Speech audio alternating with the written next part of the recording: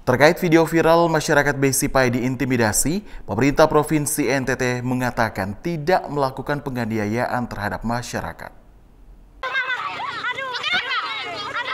Dalam video amatir ini terekam pemerintah Provinsi NTT kembali melakukan tindakan represif terhadap warga di Pubabu Besipai, Kabupaten Timur Tengah Selatan.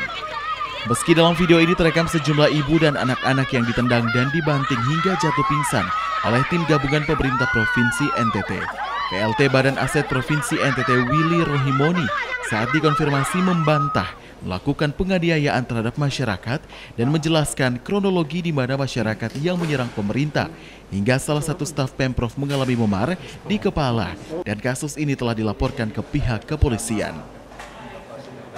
Sudah siangnya itu datang bawa air, air untuk nanti sore mau siram tanaman, kita taruh di terpal. Pada saat menaruh air itu mereka melarang. Kalian tidak boleh ada aktivitas di sini. Jadi ini kantor siapa? Oh tidak boleh aktivitas di situ.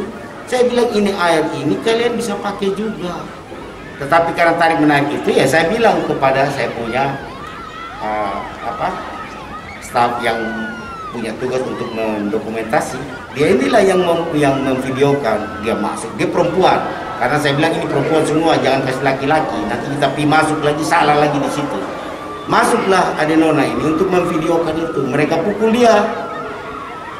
Pukul itu videonya ada tuh. Yang pakai jilbab itu PNS tuh. Itu PNS kita. Bukan orang Pubabu.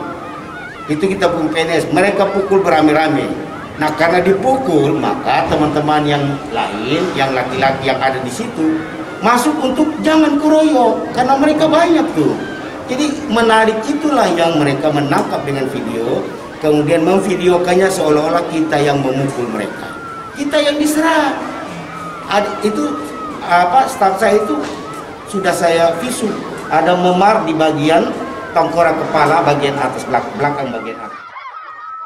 Diketahui lahan 3.700 hektar yang sedang dalam sengketa ini semula merupakan lahan milik suku yang diserahkan kepada pemerintah dan digunakan untuk kerjasama dengan Australia sebagai tempat peternakan sapi, namun sempat dibiarkan sehingga warga kembali menggunakannya. Saat ini pemerintah Provinsi Nusa Tenggara Timur telah merelokasi sejumlah warga agar lahan tersebut bisa dijadikan sebagai salah satu lahan pertumbuhan ekonomi baru di Nusa Tenggara Timur. Dari Kupang, Eman Suni, tim iNews melaporkan.